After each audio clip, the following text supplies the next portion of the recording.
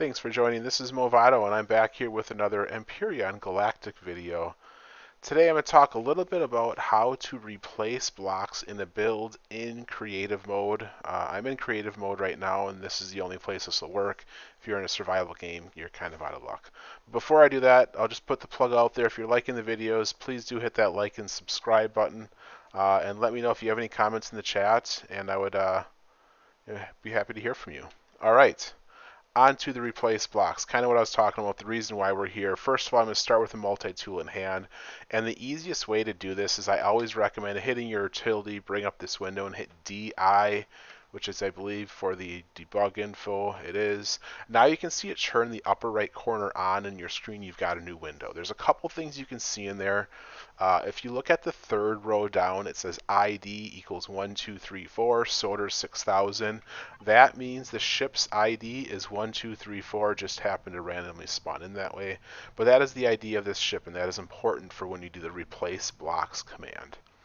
Uh, the other thing you can see is on the very bottom it says 384 slash hull armored thin small. Hull armored thin small is really helpful because that tells you the the the code or the letters that you have to type in to get those replaced. The 384, 383, 7, all those other numbers just tell you I think I think it's the specific block type or shape or I don't know, it doesn't matter. All you need is that it's a hull armored full small and there's multiple variants which I'll get into. Okay, so on this ship, what I'm going to do is this ship is made purely out of hardened steel. I'm going to upgrade it to combat steel just for show, just for the sake of doing it. The easiest way to do it is if you put down a combat steel block. If you look at the hull armored full small is what it currently is, you want to convert it to hull combat full small. So the difference between combat and hardened is hull combat full small versus hull armored full small. To do that replace blocks command, you just hit your button and you type replace blocks space 1234 space hull armored armored armored that didn't look right. Hull armored full small, and you're going to replace it with hull combat full small. And then it says it replaced 970 blocks, but that's just step one. There are multiple versions or multiple things you have to do. There's hull full, there is hull thin. So ch change the thin to full to a thin. You hit it again, and then you have extended. So replace the, the thin with extended.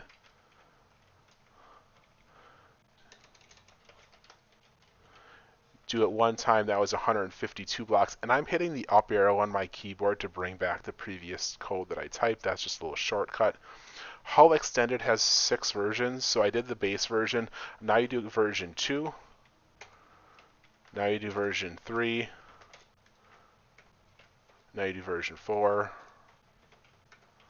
Now you do version 5 and 6.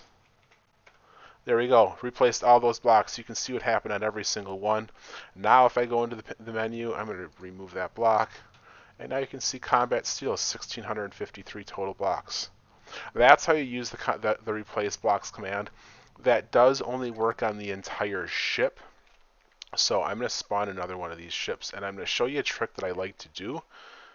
Uh, let's say you only want to change part of the ship. So in this ship, if I only wanted the front nose to be combat steel, but I wanted the rest of it to stay as hardened steel. Uh, the trick that I like to do is I like to take one ship, completely spawn it all in, upgrade it, and then using the copy and paste, and I'll show you a quick copy paste, hit the selection, slide it over, up, down.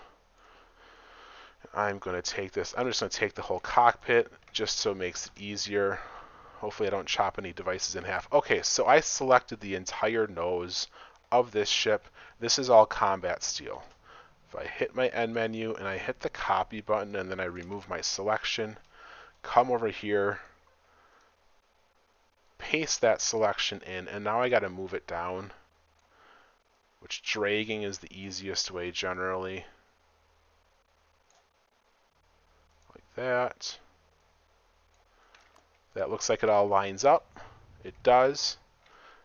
Go back to my menu and I hit paste a second time. And there it is. There I just upgraded the front of this ship to combat steel, whereas everything else is hardened steel. So a couple different ways to upgrade your ships. You could do that with other critical pieces as well. Uh, remember DI for the debug info. Look in that top right corner. And then there's those six different extended groups plus the uh, full and small. Well, I think that summarizes it all. That's all I got for today. If you have any questions, please do let me know. Otherwise, like I said before, hit that like, subscribe button, and hope to see you next time. Thanks, everyone. Take care.